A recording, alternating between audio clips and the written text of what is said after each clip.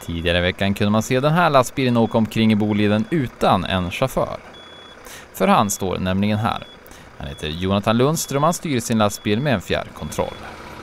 Du kan komma åt ganska trångt till och ja, du kan eh, köra in där många inte andra får se en. Du kan till och med vika in backspegeln, du kan vara så pass trångt till. Det är alltså inte bara för att skrämma ortsbefolkningen Jonathan väljer att inte sitta i sin lastbil när han kör den, utan det finns ett par fördelar. Ja, att du slipper eh, springa ut och, ut och in i bilen hela tiden.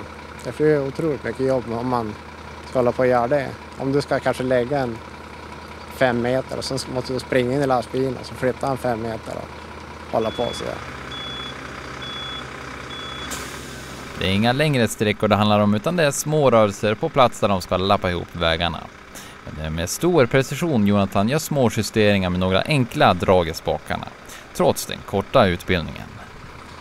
Jag fick på mig två, två timmar innan jag skulle fara och börja jobba så att det var ganska självlärt. Så om ni ser en lastbil utan chaufför så behöver ni alltså inte vara oroliga.